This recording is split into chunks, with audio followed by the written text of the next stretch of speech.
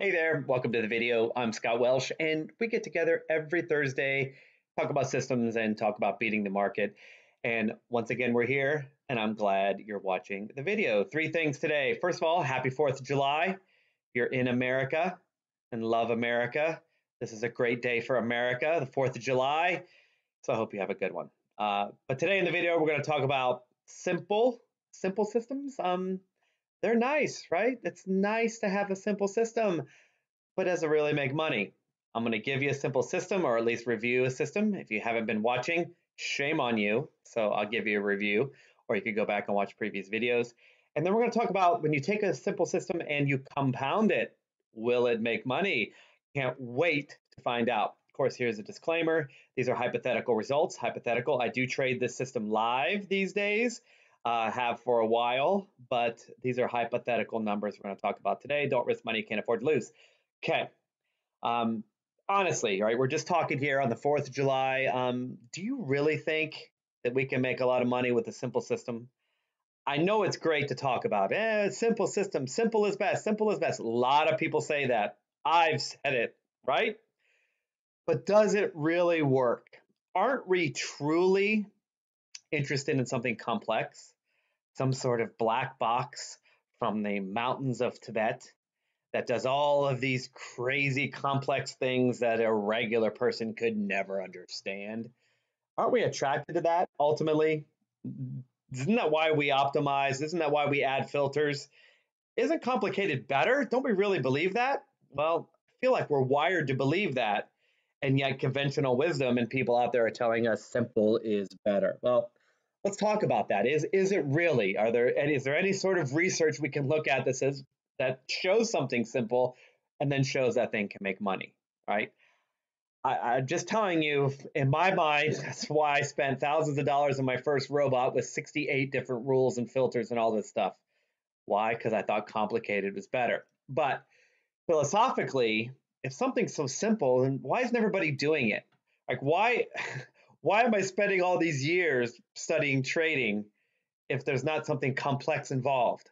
You see, there's like a war here. We want to say simple and all nod our heads, but the truth is, simple really work. Honestly, does it work? Okay. Well, here's an example of simple and why it works. And it's pretty backwards and it's also incredibly powerful. So think about this. My favorite example is the magic Formula Portfolio, the little book that beats the market, Joel Greenblatt. It's one of my all time favorite trading books, all time favorite books, period. About the magic formula system. He put together in a free scan, he looked for good companies at good prices. That's it. Huh, Warren Buffett, right? He's a Warren Buffett disciple. So he just figured out a metric that it was a powerful one. And then he ran a scan free for everyone and it beats the market. That sounds simple, right? And here's how you do it. You go to magicformulainvesting.com, you register for free, you, you put in the size of the company that you want, maybe you know like 1 billion market cap, and then it gives you the 30 or 50 stocks. You can take that list of 30 and buy all 30 equal shares. You can buy 10 or buy five. You can buy five this month, five next month, any way you want to do it. But let's say you just buy all 30 because you're lazy like me and you just don't want to look at it every month. Okay. Run the scam, buy them all in equal weight, and hold it for one year and one day for tax purposes. And that's it. How simple is that? But it can't possibly work, right? I mean, that's by far the easiest thing out there at least that I've found. And yet, Greenblatt's research shows that over rolling periods of over a decade, just doing this killed the market, killed the market by doing something this simple. There's an example right there in front of us of something simple that beats the market. But why does it beat the market? Why wouldn't a million billion dollar hedge fund go to Joel's free site, run the scan like everyone else, and kill the market. Why are hedge funds lagging the market if they can just go get this free scan? Or why don't they game it? They get the scan, they front run the trades. Oh, people will be buying this. So I'll get in, and then as soon as they get in, I'll sell at a profit, and then that'll take the stock down, and then I can buy it again. Meanwhile, they've stopped out. Yay, I'm a big hedge fund, and I've screwed the little guy. Why don't they do that? Why does this research work? Well, here's the dirty secret it doesn't always work. The system doesn't work. It has losing years. Sometimes it can lose two years in a row. And tell me this, friend on the internet who would trade a simple free system for a year, lose money, and keep trading it? The exact answer is zero people, zero hedge funds. Who is going to say, I just raised a billion dollars? Well, what's your method, sir? I go get a free scan.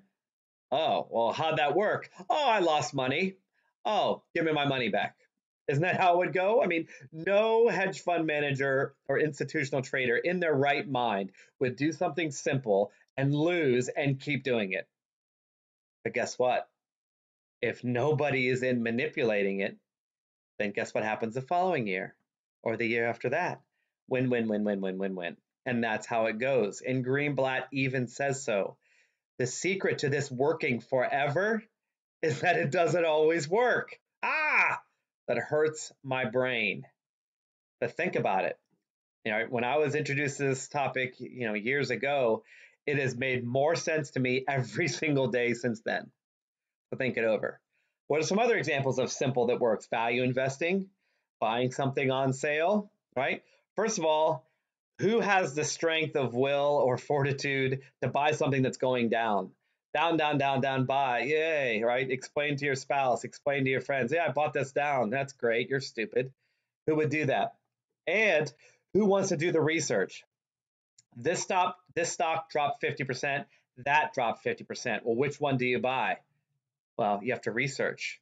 Look at the financials, read the reports, listen to the conference calls, who wants to do all that? Nobody, right? They're too busy on their phone, right?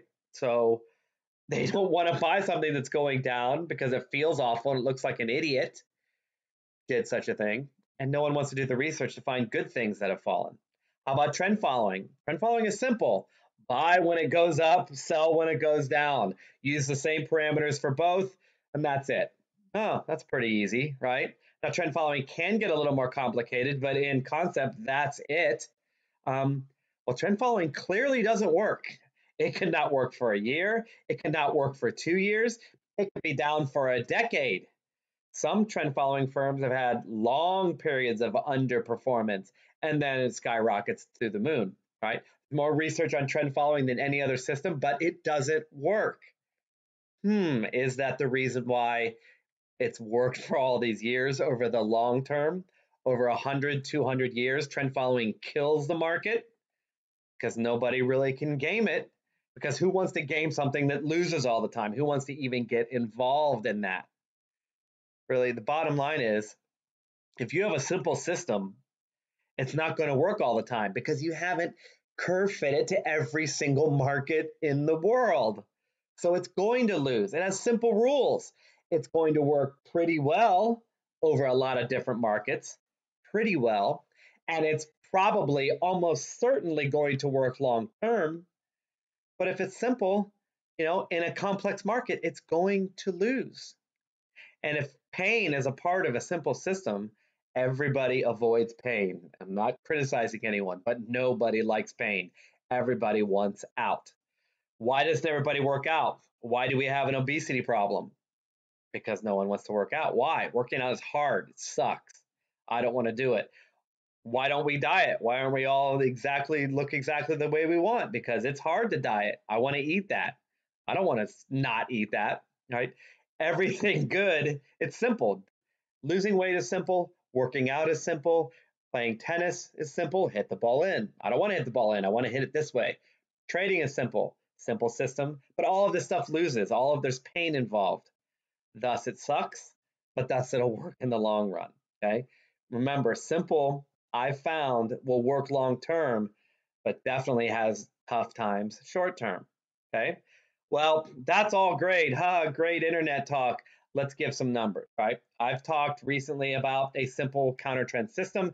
I did a live event with my friend Rob Booker and my other friend Chris Pulver. We were in Miami talking to some traders, and I talked about a simple counter trend system. Their brains were a little bit mesmerized by how simple it was, just like my brain, who wants complication, was mesmerized. But it really can't get much simpler. Okay. So why won't people trade it? It's simple, right? There's like, huh, that's simple. And some of them I think are trading it, right? Maybe, maybe. I, they say they are. But it does lose sometimes, even though it has a high win percentage.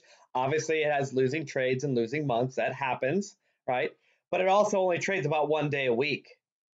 Who wants to do that, right? That's a different sort of pain.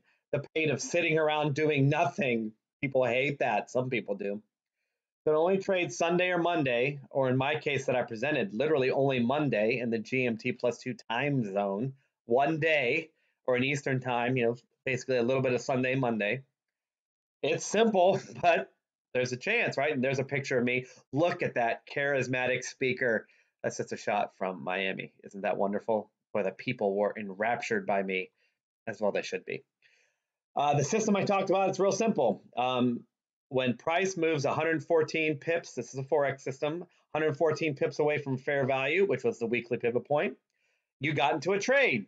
Either go short down to the weekly pivot or long up to the weekly pivot. We had a 20 pip profit target. That's easy. And 110 pip stop. That's pretty far away, but it barely ever gets that far. Usually it runs back to fair value. And we're only trading Mondays in the GMT. Okay, plus two. That's easy. Right? That's a whole system right there. Right? Simple. What's the problem? Well, you have to trade at least four to get in the ball game, in my opinion. You have to trade at least four. You could, I gave a portfolio in Miami of up to 16 you could be in, right? But let's say just four. Why four? Because the big three are the dollar yen, the euro dollar, and the pound dollar. Those are the highest volume. Those are the three that work best with systems, in my humble opinion. And then I added an Aussie New Zealand, which works great going in reversion to mean strategies, okay? So I just use those four. Here's what it looks like, and we're going to compound at the end, right? Here's a spreadsheet I talked about last week. Now, see this column right here? Ignore. This is a special secret that I talked about in Miami. Adding this to the portfolio was very spicy indeed, but that's not what we're talking about here. So just ignore one, two, three, four, just like I said. The big three, plus the Aussie New Zealand. If you add up these four from 2008 to 2019, there are no losing years. Simple system, traded with three of his friends, four total, never had a losing year. You saw the rules. One day a week, set up your trades ahead of time, or trade a robot, build your own robot. You can buy one of my robots, whatever you want to do. No losing years since 2008. Well, that's great. But what if we compounded? well, I didn't start with these years because these years were huge up years. Look at that. That's a lot. Trading just one lot on each, just one lot on each. I started compounding on a $15,000 account, hypothetical. I started compounding. So the first year, yay, we made $8,000. So now I'm up to that. Then I raised my trade size. However much this went up, that trade size went up the same percentage. So now trade size went up and now we're at 34. Profit, trade size went up, now we're at 40, 43, 62, 66. And we ended as of right now, June 2019, at the time, our $15,000 account would have turned into 81,731. And if you're interested, that's a 25.3% per year compound growth rate, annual growth rate. CAGR, C A G R, compound annual growth rate. 25.3% a year. Simple system. If you make profit, you raise the trade size. At the end of the year, one time a year. How simple is that? It's not constant trade sizing. It's easy. 25.3% per year. Do you know how badly that beats the market? That destroys the market in the same time, right? Like, bottom line is this uh, if simple works, we have some numbers to prove it, and it seems like it does indeed work. No hypothetical losing years trading the big four or big three plus one. to 2008.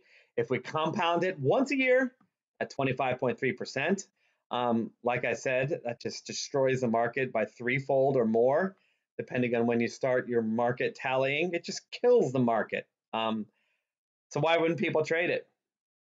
Again, I mean, it does lose some trades. Um, it does only trade one time a week. Maybe people get bored. I don't know. Uh, that was my whole point in presenting in Miami and talking to you today. I don't know why someone wouldn't trade it. I am trading it right now. So, you know, I'm just offering it to you. We get together on Thursdays and videos to talk about systems. So that's what we're doing. Um, and like I said, I do have a robot for it. You can buy it, build your own, whatever it is you want to do. Um, but if you do want to buy it, it's complicated. Just email me. Okay. Um, you can go to scottwelshstrategies.com um, or my email is right there, scottwelsh at gmail.com. Um, that's all for this week. Have a great holiday, and we'll be back next Thursday with more fun stuff. Bye for now.